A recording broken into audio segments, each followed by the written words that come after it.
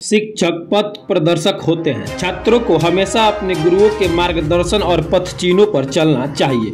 उक्त बातें उत्प्रेरक एक विद्या केंद्र के संस्थापक विवेक आर्या ने कही। आपको बता दें कि उत्प्रेरक एक विद्या केंद्र के संस्थापक विवेक आर्या ने कोचिंग में अच्छे अंकों से उत्तीर्ण छात्र छात्राओं को आर्य समाज मंदिर प्रांगण में सम्मानित किया, जहाँ आर्य समाज के वरिष्ठ लोग भी मौजूद रहे। वहीं अच्छे अंकों से उत्तीर्ण छात्र छात्राओं को बेहतर भविष्य की शुभकामनाएँ भी दी।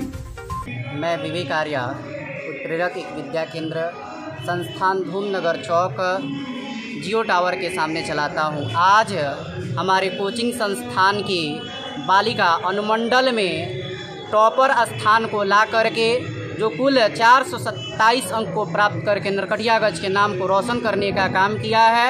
मैं बिहार बोर्ड एवं इसमें भाग लेने वाले सभी छात्रों को बहुत बहुत शुभकामनाएँ भेंट करता हूँ और ऐसे ही इन सभी को प्रेरणा देना चाहता हूँ कि जीवन में ये आगे बढ़ते रहें और सर्वोच्च अंक को प्राप्त करें। रिज़ल्ट घोषित हुआ है। आपका कितना नंबर है? तीन सौ पंचानवे। आगे जो है आपको क्या करना है ट्वेल्थ का एग्ज़ाम देने के बाद?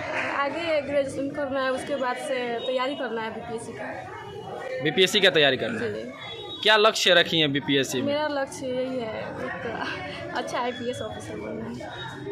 मेरा विद्या के इसी कोचिंग से पढ़ आपका नाम?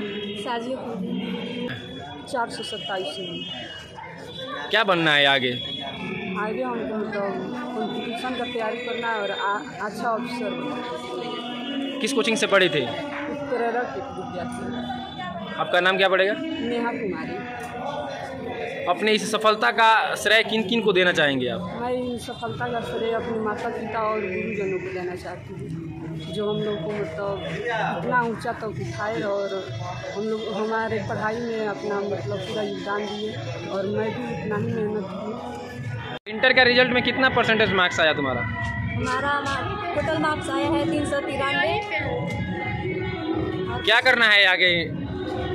आगे हम हमारा सपना है कि हम आईपीएस बने और खुद से वादा करती हूँ कि मैं आईपीएस बन के दिखाऊँगी। किस कोचिंग से पढ़ी थी? हम Milky Way Study Point coaching में पढ़े हैं जो हमारे टीचर हैं उनका नाम है तेज नारायण शर्मा।